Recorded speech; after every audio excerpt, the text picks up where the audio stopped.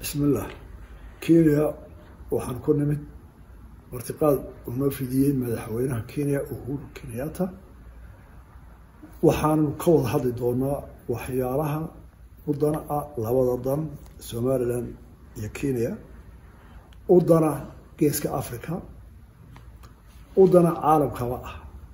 Mabda ayaga guud aanu ka wada hadlaynaa wuxuu ku salaysan yahay nabad waxwada qabsi la dagaalanka wixii dhibaato ah nooc kastoo ay tahayba iyo horumarka dalalka iyaga geeska iyo caalamka guud ahaanba waxaanu soo saari doonaa kolley warmurtiyeed communique sida shirarka caalamka ee madaxweynayaasha yeelaan oo ka hadli doona danaha ay ka mid yihiin kolka hore nabad amniga iyo nabadgelyada. Iyo maxaa labadeena dal wanaaga ee horumara ee ganacsiga ee waxisweydaarsiga ee aqoon leh ee baayac mushtar leh aynu wada qabsan karnaa.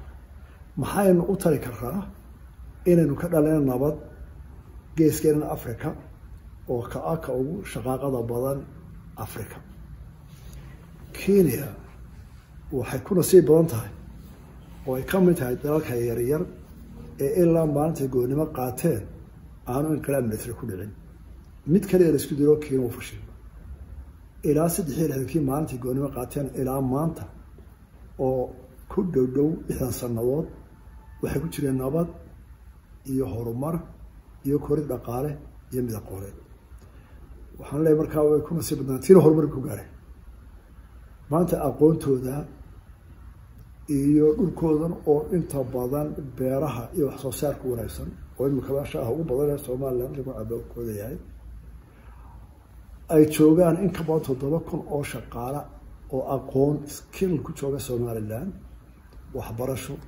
caafimaad farsamo. Warshe kastoo la sameynayo waxa dhinka jooga waxay u badaya boqolka sagaashan. Waxaad muddaa noqdeen hindidii oo kale asia. U dirtay dee aqoonta ilaa maraykanka oo kale aada iyo aad uga faaisteen waxaasaynu doonaynaa inaanu wax ka faaidno inaanu aqoontooda ka dhaxlo dadkaygu ka dhaxlo skilka ayaanu ka wadnaa.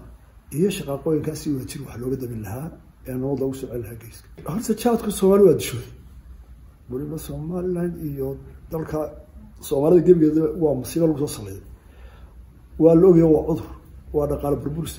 Haddana inagaa jecel nagu qasabto. Markaa ninkii barwaawi ah dee balaaya wato anagu uga taageli mayno soomaali qaad u baahna loo dhoofiyo hadday jeceshahayna dee looga taageli maayo. Laakiin arrimahaas waa arrimaha laga wada hadli doono markaanu gaadhno heer aanu ka heshiino arrimaha waaweyn oo xafiisyada furo oo kayaga kooda laga furo halkaa ee kan kor loo qaado ee deetna la geli doona waxyaalaha farsamada ah.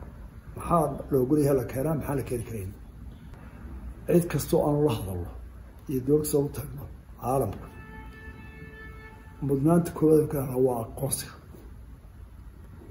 waanu weydiisanay. Cid walaba arnaba waa weydiisanay waa waajib koowaadana saaran. Waanu ka wada hadlaynaa waananu bilownay waanu wadi doonaa. Mar walba iskhilaafa waa dhibaato taagan. Hawlo badan baa ka dhexeeya. Oo isku haystaa. Annagu kaa geli mayn midna ha ka biri sanad ba weer dhegeyso dee annaga manihin dad loo adeegsado soomaali. Annagu soomaali horumeed ka haddaan somaliland soomaali waxay ku wareegsanaataa dal iyo dadkeeda u taagan.